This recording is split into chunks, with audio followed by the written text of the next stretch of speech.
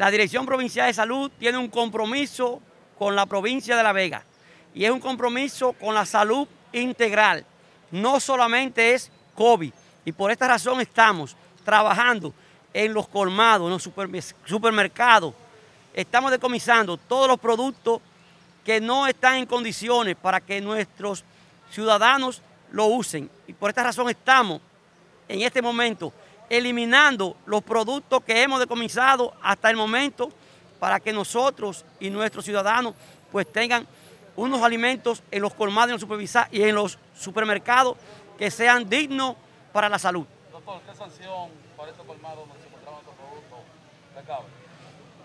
En este momento no le hemos aplicado sanción, solamente le hemos decomisado los productos, pero en lo adelante a los colmados y a los supermercados que sean reincidentes en esto, pues vamos a producirle sanciones inmediatamente. Con estos, productos vencidos, las personas no pueden morir o fallecer, o están fuera de fecha.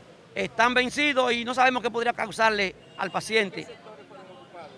En toda la provincia de La Vega. Estamos observando, doctor, que hay miel de abeja. Eh, ¿Por qué eh, ustedes incautan la miel de abeja? Porque es una miel de abeja que es falsa.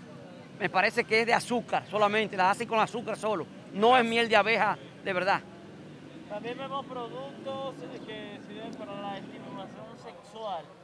¿Estos productos están vencidos o es porque no se pueden vender? No, se pueden vender, en los colmados esos productos. ¿Siempre los inspectores colmados?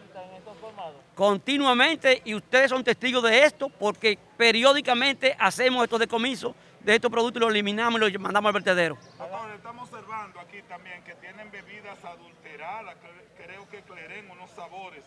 ¿Dónde están los detenidos de esos productos? Esas personas fueron puestos en la mano de la justicia y la fiscalía se encargó de eso.